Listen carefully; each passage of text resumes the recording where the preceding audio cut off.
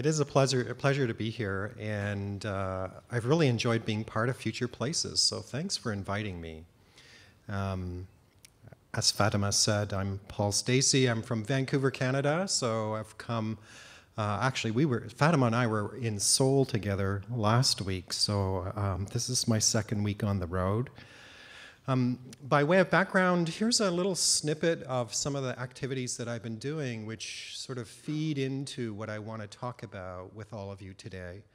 Um, I've been at Creative Commons for a number of years now, and most of my work has been in the open educational resources space. But I've also been doing quite a bit of work at the policy level and as uh, part of the Institute for Open Leadership. But this, this year, I decided to start a new initiative at Creative Commons which looks at a thorny question which we always get asked, which is you know, how do creators earn a living and sustain themselves if they're openly licensing their work with Creative Commons and giving it away for free on the internet. And I think this is probably a question that many of you have in your minds too, as we've seen creators uh, start to earn less and less money, um, as we've heard some people already talk about at this event. And my interest is in open business models that actually generate more money for creators and less money perhaps for the middlemen and distributors and record labels and so on. So um, a colleague and I ran a Kickstarter campaign back in uh, the summer, and we raised some funds to write a book about open business models where the business is based on Creative Commons. And when I was speaking to Heather and Fatima about uh, participating and giving this keynote, um, one of the phone calls we had, or Skype calls we had, uh, was glum, I think, about world news and some of the things that are happening around the world. And, and yet, every time we talked about future places, it was in a really positive, happy way. And uh, I, I decided to base this keynote on imagining a sort of future place where we all are global citizens in a global commons. And two factors really affected how I decided to approach this. One was that uh, this year it became really apparent to me that uh, one of the unique things about Creative Commons is that it empowers us all to take self action.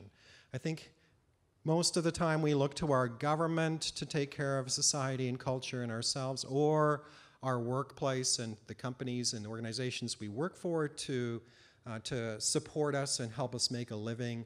But I'm increasingly seeing a third way, which is the ability for all of us to make some decisions that enable ourselves and enable the rest of the world to, to thrive. So I wanted to talk about uh, activities tonight that really are things that all of us can do, and some of the the and I wasn't aware that we'd be doing it in quite a theater like this, but the sheet of paper was. Um, was something that I wanted to invite you all to kind of work on throughout this keynote, and there'll be moments in time when I actually stop talking and invite you to uh, put down your own thoughts on that sheet of paper. And then the last um, sort of thematic element for me for this keynote is the idea of abundance. Uh, we always uh, historically have been talking about, in terms of the world and the economics and the marketplace, scarcity. Almost everything we do in terms of the economy is based on economics that are around scarcity. And when we shift the conversation to speak about abundance, a whole new way of thinking and new sets of models start to emerge. So most of my keynote tonight will focus on ideas around abundance. So what I wanted to do was uh, look at an interactive session um, that has us all imagine ourselves as global citizens, so somewhat independent from our state or country or nation, uh, ability to make decisions on the basis of how they affect the whole world, not just our particular community or country, and in a sense work towards a global good. Um, to set aside some of the market economics way of thinking about things where value is placed on maximizing money, and instead look at how we might actually uh, do social good that makes use of the abundance all around us. And that includes kind of ending in the digital media context some of the artificial scarcity that we tend to place on digital goods. So I'm very much going to be looking at how we create benefits through sharing and through building a global commons, and I'll be inviting you to think about how you might use your skills and experience to actually uh, enable the world to um, be a better place than it is now. So um, when I put this together, I decided I'd do this across a number of dimensions. And so the, the page you have in front of you uh, shows a diagram that I use to kind of organize my thinking. And I'll talk about the commons and how we might think about ourselves in the commons across each of these dimensions. So the physical dimension, the digital dimension, locally, globally, from a knowledge point of view, from a data point of view, and culturally and creatively. So let me jump right in. On the physical side, there's a lot of uh, reimagining the commons. As you probably all know, historically there was a commons that was the basis of society. We didn't used to all own private property.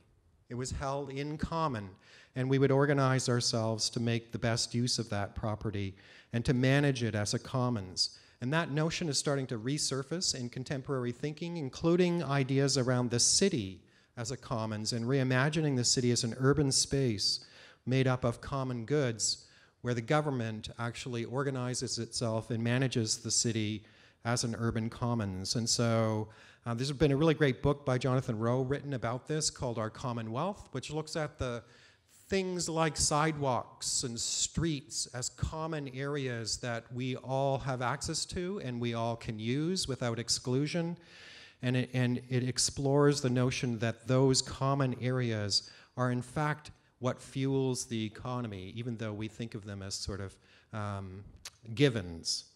And so the, uh, the new kind of urban commons is looking at reconceiving the city in terms of a commons, thinking about it as a place where social innovation can happen, where there can be greater participation of citizens in terms of shaping the, na the nation of, the notion of the city, and even in terms of designing and governing the city. So I've been really pleased actually to see some of the sessions and citizen labs at this event focus on things like uh, sort of um, design and uh, thinking about the city. Even um, the report out earlier today about a city that is subject to global warming where the water starts to rise. What happens then? Um, these are a few pictures from Vancouver where I live, and I just wanted to show a couple of examples of how the people in Vancouver are approaching this. Um, people are starting to actually garden city streets. So the top picture is like a roundabout in the middle of the city where the neighbors are actually the ones that are planting the, the um, the flowers and plants in that roundabout and starting to maintain and care for it themselves, including not just the roundabouts, but sometimes the, uh, the, the kind of walk, the walkway areas between the sidewalk and the street, as you can see in the bottom photo. And another big part of Vancouver right now is the whole idea that the city wants to be the greenest city in the world. And one of the things this has led to is the better utilization of space in the city. The city is actually fairly small and compact because it has huge mountains to the north and then the ocean sort of on, on all, all the other sides. And so the only way it can go is up. And so there's lots of, as you can see in the background here, lots of high rises.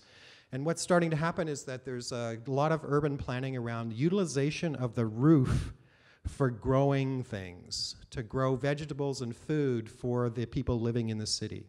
And so lots of rooftop gardens as a new, in a sense, a new abundant space that isn't very often fully utilized and can be utilized to create some real significant benefits for citizens.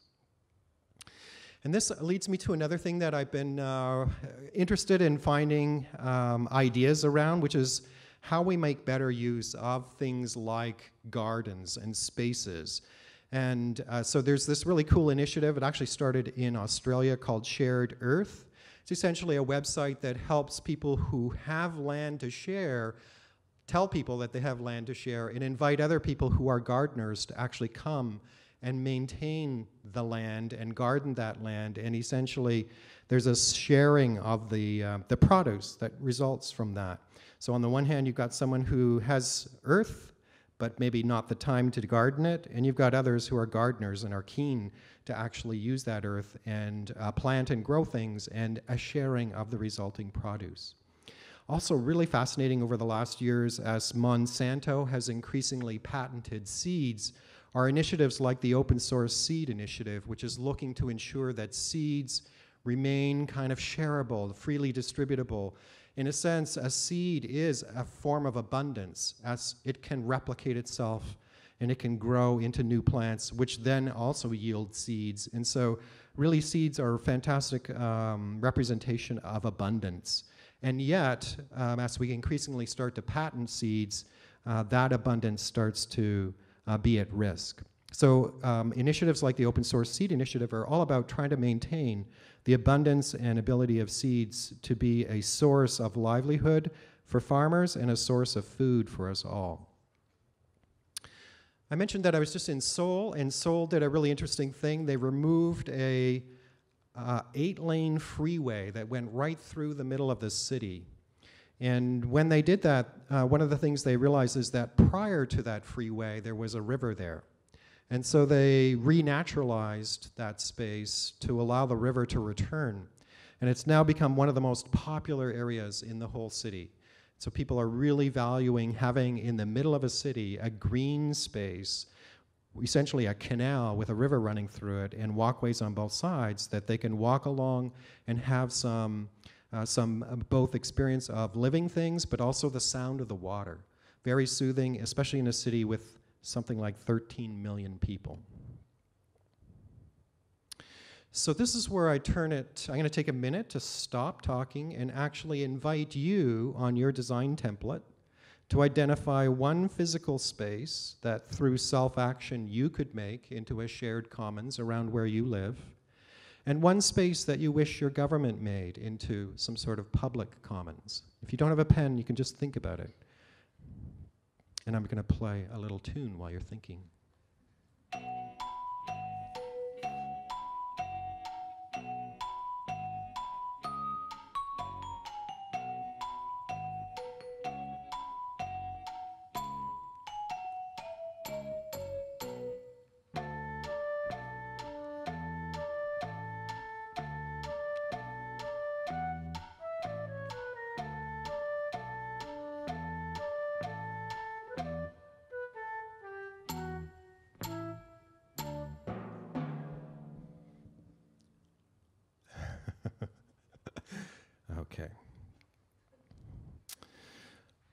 The physical um, side of things, and I wanted to switch from that side to think about the digital space, which I know all of you are deeply immersed in.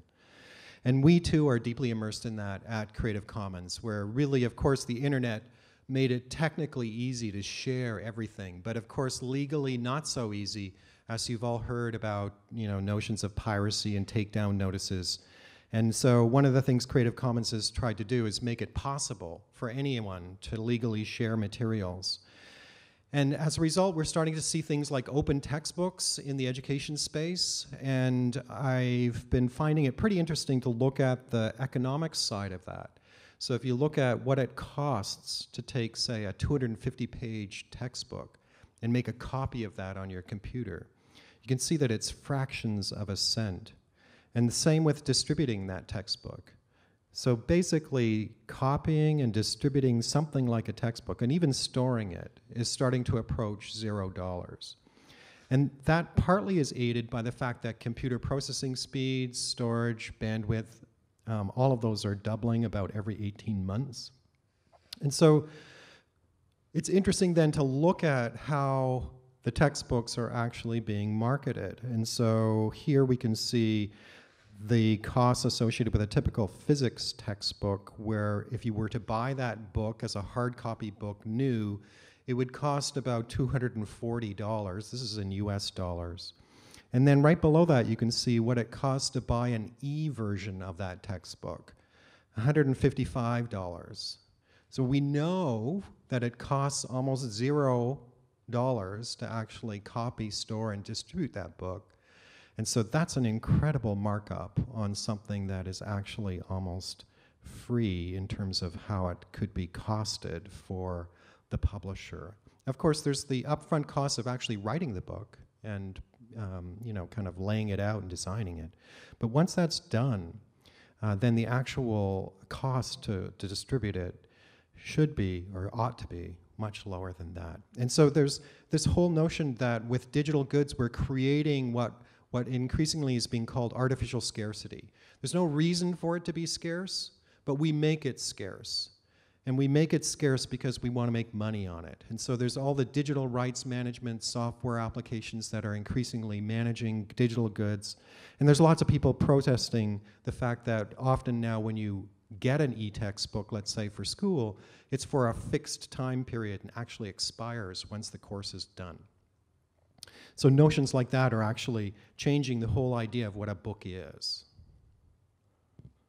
Which leads me to some of the exploration I'm doing with the um, open business model work around traditional market economics. And some of you were in the workshop I did uh, earlier this week, and we talked about this in more detail. And I won't go into all the detail here, simply to say, though, that traditional market economics, the way we all, all of our governments and all of business operates, is essentially about maximizing monetary value.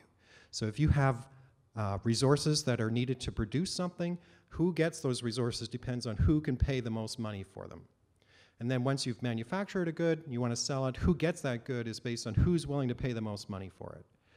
This whole idea of maximizing monetary value doesn't actually work in the same way in the context of abundance. So if you have something that's free or costs essentially zero dollars, and you make it available to everybody, then actually all of those resources can be made available to everybody without any kind of law, you know, with, without any need to maximize the monetary value. And something like a digital good can be shared, of course, uh, without being scarce, so that if I give you a copy of a digital good, I still have that copy, and now you have a copy, and we both have copies. That's very different than a physical based resource. This whole exploration of sharing in the digital economy is something that Creative Commons has been very, very active in. And I just thought I'd throw this up to show sort of the range of activities that we've been engaged in. I've been doing a lot of work in the education space, especially around open educational resources, which are, which are course materials or textbooks or animations. Uh, PhET is a simulations for physics, uh, concepts, biology, those and anatomy and physiology. Those are open textbooks. Also in the education space are a whole sort of open sharing of research. And so in the bottom left corner, you see two research journals that are, that are essentially places where faculty can publish their work in a way where it becomes openly accessible to everybody. Even the library makes these resources available for free without having to pay a subscription fee to the publisher. And there's this whole idea with the open access and with open educational resources that usage of public taxpayers' dollars should result in works that the public has access to. The idea that if you use taxpayers' dollars to produce a resource, which then the public actually has to pay for to get access to, seems a little bit dicey. So on the education side, you've got educational resources and you've got research and also open data. Um, on the top there, you see open data from Figshare. That can be open data pertaining to research, but it could also be open data pertaining to, let's say, government data that's being collected on our behalf. And, and should the government actually make that data available openly to us? Other areas that we've been very heavily involved with on the digital side are down in the bottom right. Uh, the whole GLAM sector, sector, which is galleries, libraries, archives, and museums, where lots of those organizations are increasingly making their digital collections openly licensed with Creative Commons and freely available to us all to benefit from. And then you have um, things like YouTube and Flickr and SoundCloud, which are sources of either photos or videos or music, where the artists can choose to uh, license them with Creative Commons and make those resources freely available to all of us. So lots and lots of sectors now are using Creative Commons to increasingly make digital resources free and open. And it used to be in the old days that Creative Commons was largely a sort of grassroots initiative where individuals were choosing to use the licenses, but increasingly we're seeing sort of a top-down part to this where government is also starting to, to take the initiative to freely share the works that it funds. So let me take a moment here again to just give you a moment to think about this. If you were to take personal action on your design template, what digital resources do you have that could potentially be openly licensed and made part of the global commons? Time for the musical interlude.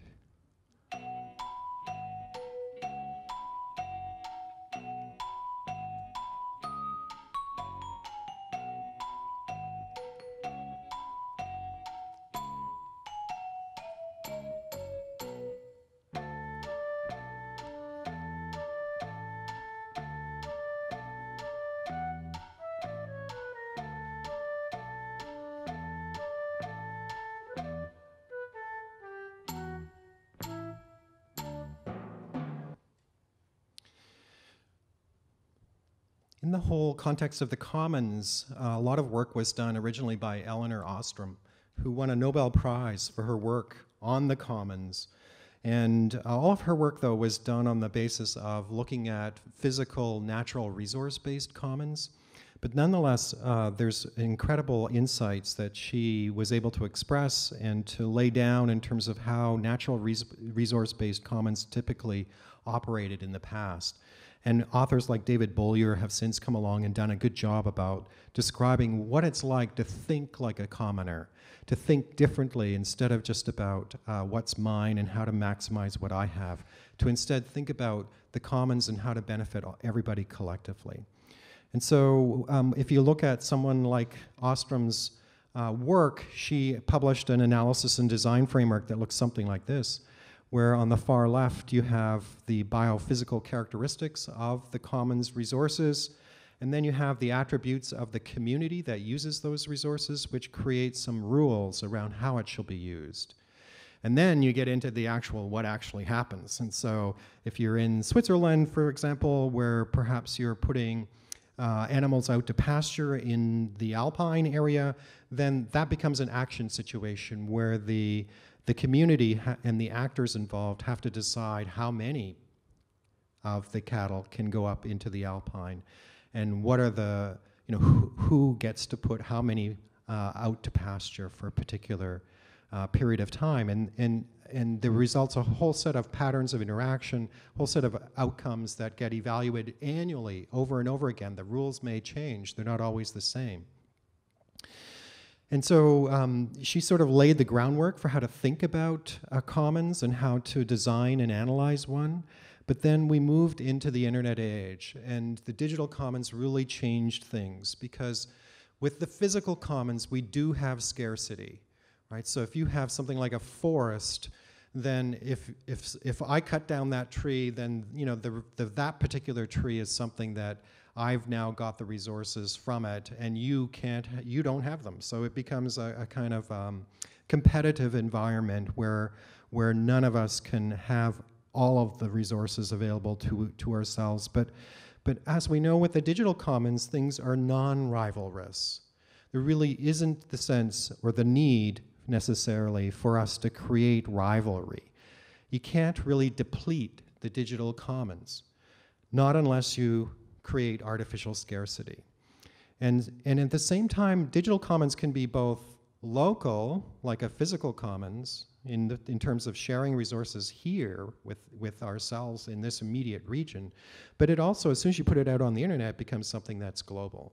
It's been very interesting actually to work in the education space around this because you get governments funding the creation of open, shareable education resources but they tend to think mostly about their nation or their region and their citizens without really thinking about the global potential and impact that those resources might have around the world. So the Digital Commons really does look at uh, empowering individuals to take action without necessarily getting approval or um, uh, a mandate to do so from government or from their business, and, and can result in works that are non-rivalrous, that become not only local but global. On the local side, um, I, I, wanted to share again a little bit about Seoul. Uh, just came back from there, and it was really very fascinating place to be. And Seoul has uh, wanted, has established itself as what it calls a sharing city. And this whole notion of being a sharing city is starting to spread now. Um, so we're starting to see other cities also aspire to this, but Seoul was one of the first to do so. So they're deliberately looking at what does the city have in its local sort of regional area that could be better utilized. So the whole strategy is around how do you maximize and make better use of the resources you already have.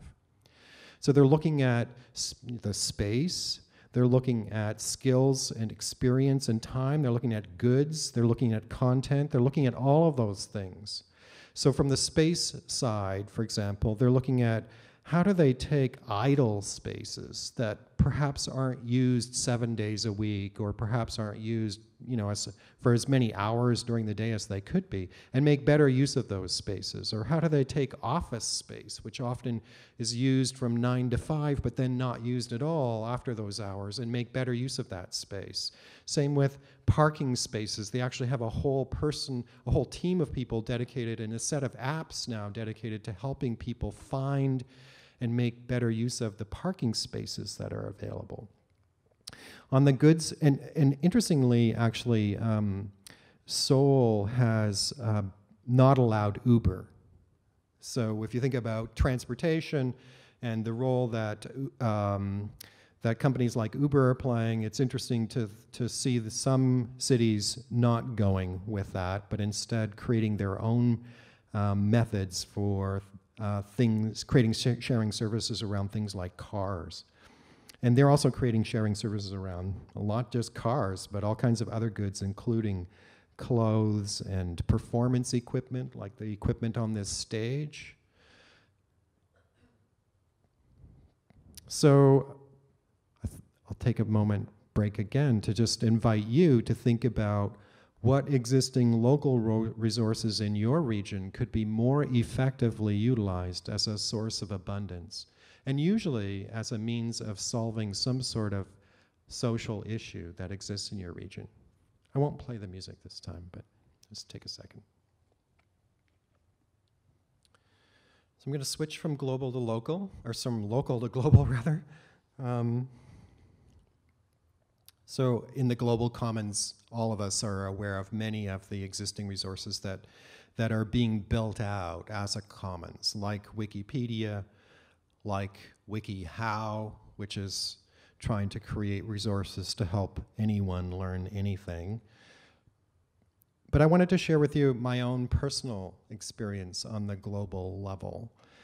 And I think this has some corollaries actually with some of the academic programs here. But I did a graduate degree that was 100% online. It's called Adult Learning and Global Change.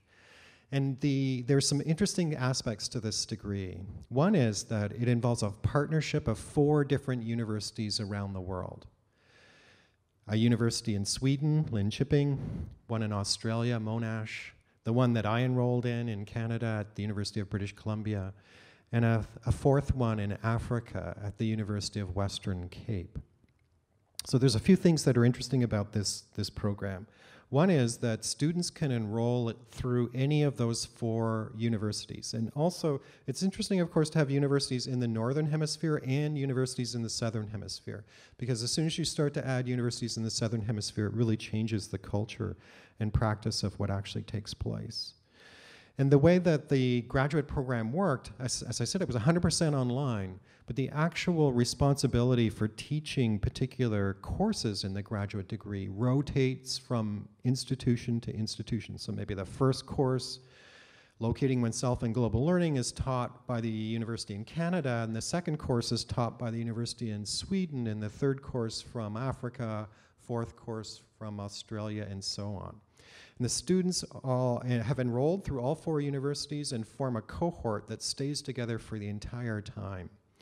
So this whole idea that you could have a program that is made up of multiple universities from all around the world and have that program be shared from a teaching and learning perspective and have the student pool be shared so that it's not all students from the same region but students from all around the world that are en enrolled in this course as a cohort was a pretty powerful thing because you ended up getting exposed to not only the pedagogy and practices of ways of teaching and learning from around the world but also the personal lives of the other students that you were you, that you were enrolled in or enrolled with. So you got to hear about the news and politics and the daily lives and the work and the personal issues of all of your fellow students from all around the world, which really creates for a very powerful kind of uh, experience. And then there was one last thing about this program that was very, um, that was totally unexpected, at least when I decided to take this program and that is that the as a 100% online program, uh, of course, you never met. And, and yet it was very social, and perhaps more social and more interactive than any course I ever took on campus. But the students decided that they did want to meet. And the cohort before mine decided to organize a meetup in Africa. And so all the students enrolled in the program at the time were invited to go to Africa on a particular date for a week. And about 15 went. And they had a fantastic time, and they decided to do that again every other year. And so the year I enrolled, it was taking place in Canada. And so I thought, oh, I'll go and participate in this and see what it's like. And, and interestingly, it was entirely organized by the students. And the students would um, organize site visits to places of adult learning in, their, in that particular country. And so it ended up being a mix of a social time when you got to meet the other students and interact with them at a per, on a personal level, but you also actually got to experience that country by visiting sites of adult learning. Instead of going to a museum or a church, you'd go and see how the adult education is done in that particular country. And this has continued on. So I've actually now uh, been to um, what's called the Adult Learning and Global Change Institute that the students actually organize. I've been to the one in Sweden, I've been to the one in Africa and Australia, and I've been to two of them now in Canada. And so it's ended up forming this incredible network of social bonds and a professional learning network that has continued the learning associated with that degree program on a global level well beyond the time past my graduation. This for me is actually one of the more interesting examples of how we can think about ourselves as global citizens in a global commons, and not just as a citizen in our particular country, but one that is part of the entire world. So I'd like you to think again about how you might participate in a global citizen way in what you do. I will play the music again. I like this music.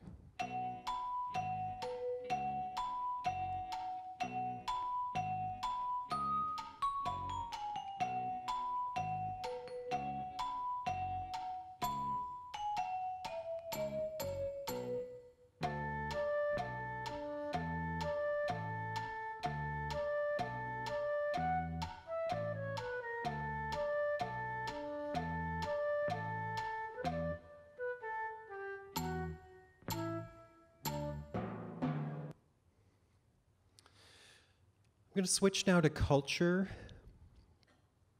This has been a really fascinating area for me to explore in my work at Creative Commons. I came out of the education and high tech space, so I spent half my career in the private sector working in high tech companies, both startups and huge ones, and the other half of my career kind of working in education. And when I came to Creative Commons, a significant part of our effort has been focused around the libraries and the museums that exist around the world and encouraging them to look at their collections as something that should be made available publicly as a common good for everyone to benefit from and to experience and see. And this has actually been increasingly pursued and adopted by galleries and libraries and museums as they digitize their collections. And so you have initiatives like Europeana, which is really trying to aggregate collections from across multiple libraries and museums and make them available digitally for all of us to access. And you can see in the bottom left corner that they, they use the Creative Commons licenses to make those resources available for us so that we can reuse and remix them if we wish. In North America, uh, in the United States, we have the Digital Public Library of America, which, which also acts in a similar fashion to Europeana, with, the with this, except that it does it for libraries. So it essentially aggregates library collections, digital library collections from across many of the libraries in, in uh, the United States and aggregates them into one single platform where you can come to do a single search for any particular book and find that book and access it digitally. I also thought that what the Rijksmuseum did in the Netherlands was pretty interesting. Uh, they initially started to digitize uh, significant parts of their collection, and they offered sort of two versions of the digital work a low resolution version, which you could have for free, and a high resolution version, which you would have to pay money for. Um, and they started to, um, to make some money from selling the high res version, but decided eventually to actually make even the high res version available for free online under a Creative Commons uh, license. And, and not only that, but they actually encouraged commercial use of those works and created the Rijksstudio, which we see here, which allows you to take those high-res digital works and make things like a poster out of them or use them for whatever you want. And so now we're starting to see uh, some pretty interesting and entrepreneurial uses of um, aspects of the Rijksmuseum's collection, including things like uh, putting the works on clothing, for example, which is then sold. And so the whole idea that a museum can, can serve not only a curatorial and a cultural um, service for the citizens, but also as a stimulus to the economy by sharing its work is sort of a new whole area and a new role for these organizations that they didn't historically have.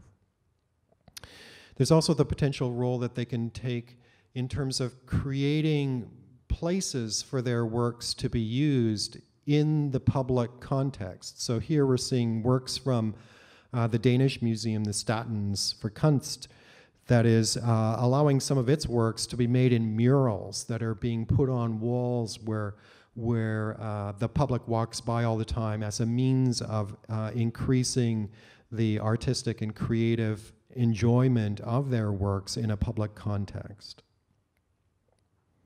So again, I wanted to invite you to think about whether you have cultural work yourself that you would see that could be made open and shared, or whether you think that your cultural institutions have work that should be open and shared. And if so, to, to kind of jot a few notes down on your, your paper to identify what those things might be.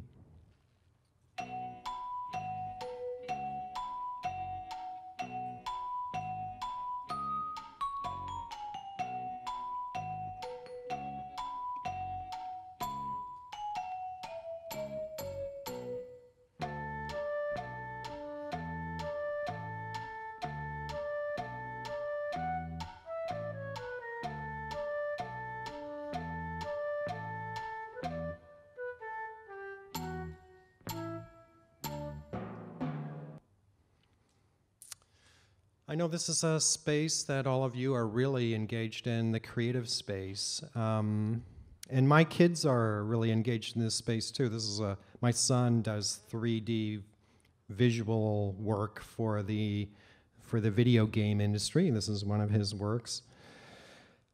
And as, as I expect many of you know, lots and lots of other creators have decided to digitize their work and make it available under open Creative Commons licenses. This is Flickr, the photo sharing site, which has millions of photos that have been openly licensed with Creative Commons. And I talked about this one during the workshop, and nobody had heard about it before, so I decided to also mention it here.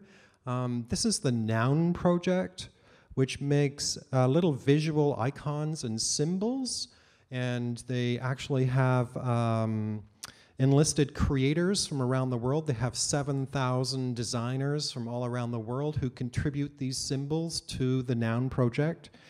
Any, they're all openly licensed and available for free under a Creative Commons license, so you can go and download any of these icons and make use of them in the work that you're doing. The only requirement, of course, is that you give attribution to the creator and acknowledge their original work. Um, but if you don't want to give attribution, then you pay. So they have a very interesting business model. They're free as long as you give attribution. If you don't want to give attribution, then you actually have to pay. And so the, they've kind of uh, integrated the use of the Creative Commons license right into the heart of their business model and tried to devise a means by which um, the creators can get some compensation. And, and they're just getting going, but I was speaking to them the other day because we are really thinking about profiling them for our book. And I was asking them, so how much money do the creators actually make? And, and so uh, they talk about it in three tiers. Uh, they talk about it as beer money. They make enough money to buy beer. Uh, bill money, they make more money, enough money to pay the bills. Or rent money, they actually make significant money, enough to pay their rent every month.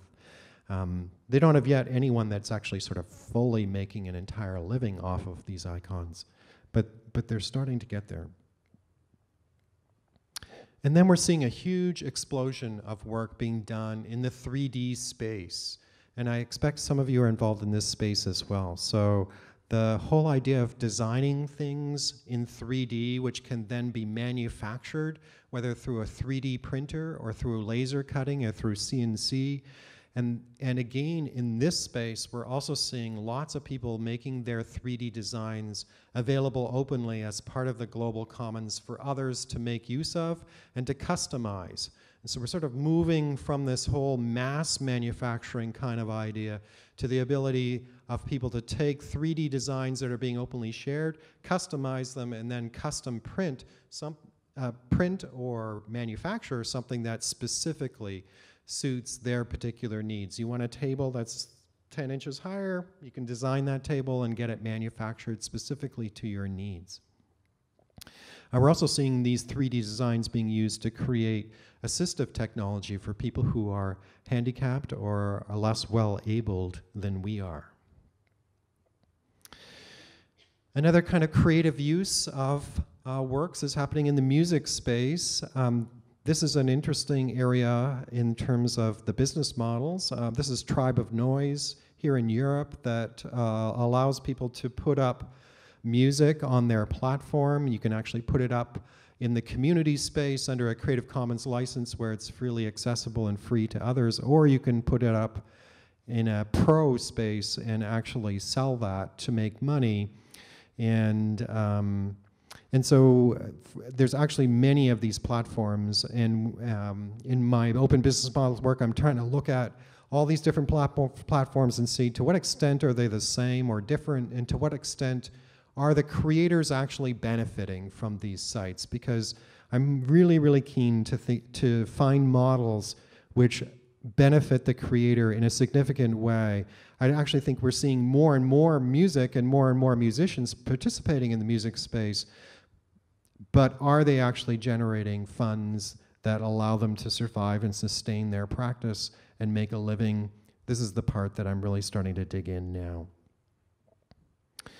And then you have some, um, some people like uh, Cory Doctorow, a popular science fiction writer who uh, publishes all his books under a Creative Commons license. You can download any of his books from Craphound, and they're all free in a digital form. But of course, he also sells his books as physical books.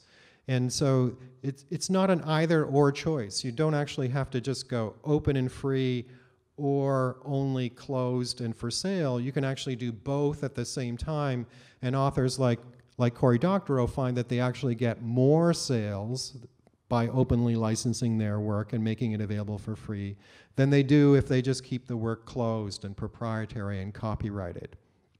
You also have musicians like Jonathan Mann in the US who writes a, a song a day and puts it out under a Creative Commons license for anyone to listen to. Um, and through that whole process, he also now will do custom songs, and you can actually, he actually is generating a living by writing custom songs for people now. And of course, you got films coming out um, under open licenses. Uh, Away from Keyboard, which was a Swedish film, actually invited people to remix the, the ending and come up with a whole new movie ending than what it originally came out under. And, and uh, people like Jonathan Worth, who's a photographer, also putting out his works under Creative Commons licenses and, and also still selling his work. So he's also following sort of what Cory Doctorow does, is a free version and a version also for sale. So I, I, I imagine that many of you have creative works that you have developed that could be contributed to the commons. And I expect that many of you are making use of creative works that you openly use as source material for your own creative practice. Because really, all of us as creators are building off the work of other creators, historically and in contemporary times. And so the commons has always played a critical role in the creative practice. So I'll give you a second without music to think about what you have that could go in the commons or what works you already are sourcing for your own creative practice.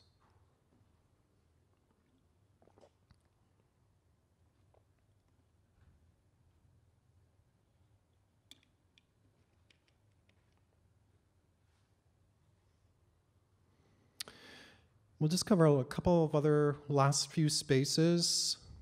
I wanted to talk about data. I was really thrilled to see some work being done on data here at the Future Places Citizen Labs. And this one um, is a really fascinating area because what we're seeing is not only personal data, but government data. This chart shows on the right-hand side government departments like the Department of Agriculture, the Department of Commerce, the Department of Energy, all of whom are collecting and generating vast amounts of data using public funds. And increasingly, governments are making that data open and accessible to others to make use of. And so on the left-hand side, what you're seeing are companies, whether they be in technology or finance or food and agriculture or healthcare, that are being able to generate their business and, um, and expand their business through the use of that data. We're also seeing initiatives like the Open Government Partnership, which is looking at which governments around the world are doing the most work on making their data open. And you can actually see rankings. So in this case, we can see that the United Kingdom, for example, is, is putting out a lot of data openly. So is Denmark, so is France, so is Finland. And so you can see the color coding is green is the data exists, it's digital, red is it's not public, the blue is it's unclear, maybe free, so on. And in addition to sort of big government data collections that are being made open, we're also seeing some fascinating stuff happening on the personal data side. Fitbits, or this particular initiative, BioBeats, which is, which is really a whole mobile and machine learning platform that gives you biometric data that helps you assess your own well-being and potentially can be used to assess not only just one person's well-being, but a whole collection of people or even patients. And they're starting to consider the use of this to do things like um, lower insurance rates for people who are, from their biometric data, being more healthy in terms of their practices than other people.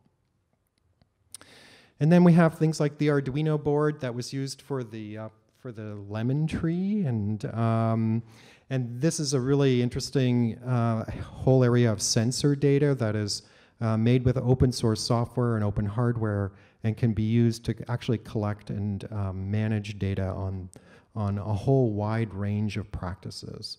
And all of these, uh, both hardware, software, and the data actually can end up feeding into the commons and being used in many, many different ways. So lots of personal and public data that uh, can be tracked and can be made open and can benefit all of us as a kind of global citizen in a global commons. And I also want to do quickly knowledge, and this maybe will be the last one that I do. I just recently came across this, which is called sharing vouchers. This is a whole informal approach to knowledge. Essentially, this group, they're actually in the Netherlands, is creating a mechanism to help people share the knowledge that they have with other people. So, a form of sharing of social capital, if you will. And to do so, they've created what they call the sharing voucher. The sharing voucher works like this. It's essentially a voucher. You can see an actual what it looks like right there. And it, it's essentially a gift. Essentially, you write on that sharing voucher what gift you have in the way of social capital or social knowledge or experience that you're willing to share with others. And others can actually write on that sharing voucher, they have a sort of slightly different version of it, something that they're actually looking for. And so they're actually creating these kind of hotspot spaces where sharing vouchers are posted, what people are looking for, what people are have, and you can connect people and enable them to help each other with no questions asked, no money being transacted. If you're, if you're contacted by someone and you can always refuse, you don't have to do it, but it's a form of giving, if you like, based on your social capital and your experience and knowledge. It's somewhat similar to this one, Seats to Meet, which is another very interesting initiative. I use this one in the workshop as well. Uh, but I like it because it's focused on work space sharing and meeting space sharing. So if you're looking to co-work in a shared workspace with other people, you can uh, find spaces using Seats to Meet. And it's free to go and co-work in that space. Uh, but when you go and co-work in that space, they actually ask you to register what experience you have and what experience you're looking for, and they match make you with other people in that space so that you help others and others help you. And that's the way that they kind of look for you to make a payment is not with money, but with social capital. And if you don't want to register yourself and what experience you have, then you pay. And they're also generating revenue because uh, in another way, which is that uh, lots of new entrepreneurial ventures have started up out of Seats to Meet, which they then physically rent space to or office space to. In the US, uh, there's been a huge emphasis on this knowledge area, especially uh, on this particular initiative, which is $2 billion initiative done by the Department of Labor to create what they call uh, high growth job opportunities for people who were displaced through outsourcing and free trade. And all of the resources that are being created by colleges under this initiative are being placed in Skills Commons as free open resources that anyone can access and use. And so what you're finding is a vast pool of educational content for areas like manufacturing, health, energy, transportation that are being made available through a website, skillscommons.org. And some of you probably are aware of MOOCs like edX and FutureLearn. Uh, these two are being new ways of distributing knowledge in a way that is free and open to all. It doesn't necessarily mean you get credit, but it's a whole new mechanism for distributing that knowledge compared to what universities have traditionally done. I mentioned uh, on the education side the sharing of knowledge from research, and these two are starting to be significant ways of creating large amounts of knowledge as part of a global commons. So I think the whole knowledge space has been fascinating as it's, it's become larger and we're seeing more and more uh, global sources of knowledge available in an open context to all of us. And I think all of us have knowledge that we can share in this fashion as well. So I'll close with a couple of things. Um, this shows the growth of Creative Commons licensed works over time from 50 million to 882 million last year. Uh, we expect it to go well over a billion this year. And so it's very interesting to see that people do want to share and are willing to share. And there's a tremendous growth of sharing through something like Creative Commons, even if it isn't necessarily baked into copyright law. There are mechanisms that allow us now to legally share. And, and when I think about the open business models and what I've been learning so far, here's a few nuggets that represent the key takeaways from what we've been discovering at this point. So businesses that are openly sharing usually have some sort of social mission or see themselves as a social, social enterprise. They're not just about making money and maximizing profit. They actually are trying to deliberately make the world a better place. And almost all of them engage community in some way, either as um, contributors to the business, as a mechanism to crowdsource, as a mechanism to market and build reputation, as a means to quickly and uh, quickly get users and to encourage those users to contribute to the company. And if they generate financial returns, they usually are sharing those with the community. They're not just keeping them all to themselves. And they're very much focused on maximizing abundance rather than creating artificial scarcity, a whole different way of thinking about creating a business. And I think most of them are also looking at the resources they create as gifts rather than commodities. And by that I mean a commodity is usually just something you buy in an anonymous fashion. You know, I bought this water from a store down the street. It's not like I developed a relationship with the, with the store vendor or they developed a relationship with me. But the open businesses tend to be very focused on more gifts and developing relationship with their customers and with their users in a deliberate way. And many of them are using multiple means of open open content, open source software, open hardware, open data, open policy, all of these things packaged together to create a kind of larger, more open and entrepreneurial way of thinking about things that is totally based not, not on closed, but on open. So I'll leave it there. Thanks so much for, uh, for entertaining this kind of alternative view of the world and contemplating what it's like to be a global citizen in a global commons.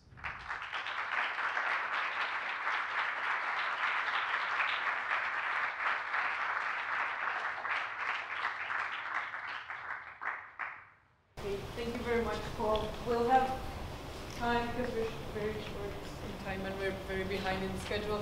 We'll have time for two questions now, if anyone wants to to address a question to Paul, but we can continue the discussion throughout the so please. I've got a, Go ahead. quick, quick question. Um, it was I found it interesting that you uh, referred to um, sidewalks and, and uh, uh, infrastructure as being something that's provided provided free for them businesses to operate on to generate to generate cash.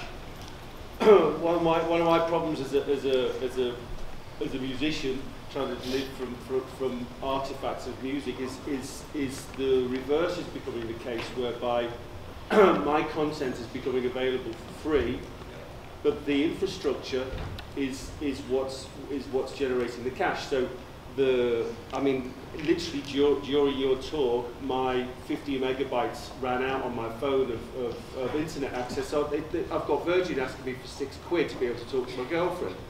And, and so so what, what's happening is that what I've created is now being used as a form of, of, uh, uh, of, of generating cash for the people who make the phones, people who make the computers, people who make, make the infrastructure. I was just wondering how, how that squares with, with the, the, the, the view of, the, of a better world, you know? Yeah, I, I, think, I think you're touching on a really important uh, idea. Um, what I'm seeing is that we've increasingly marketized what were public services. Yeah. So we've taken things where we in the past would provide, say, transportation highways with public funds, or, or provide public broadcasting bandwidth services uh, with public funds, and we've marketized those and sold them off to some other entity to provide them for them from a, a kind of private sector perspective. And I think that I think that we need to revisit some of those ideas and make better decisions around what benefits who, because we've really begun to see that we've kind of created the 1% that's getting super wealthy off of us, whereas in the past we really were being well, more well serviced by really the public on our behalf.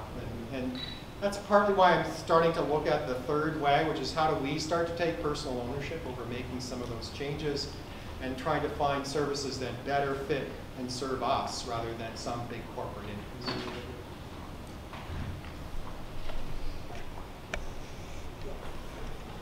Yes. Yes. I'm really curious about your angle on personal data because you specified this the new notion of the quantified self using biometric data, for instance, for insurance, uh, insurance company discounts, and this kind of business around the sharing of intimate, internal, personal data is something that has been described a lot as a scary development. And I'm really curious, how, how does this play along with the openness agenda? Because yeah, it's well, a tricky subject. Yeah, I mean, I think this is another really interesting topic because in my view, we've historically been giving away our data, often very personal data, to a big organizations like Facebook and Google without really thinking about it. And now those organizations are monetizing and making huge amounts of profit based on our data. And so to what extent do we now start to reclaim that data back and start choosing services that don't do that or allow us to control our data in a way that better suits our needs? I think these are critical decisions in, in contemporary digital society that we need to be thinking about and we need to take more control over ourselves deliberately and manage how we want to be tracked and how we want to, what we want to share and who we want to share it with in different ways than we have before. So I'm actually all for more personal self-control over what we choose to share and who we choose to share it with, and less of this automatic, yes, I agree, you can track me and you can use all my data for whatever reasons you want. I think that that kind of practice is something that uh, we readily agreed to in the early days of the web, but I think as we move forward, there'll be less and less of that.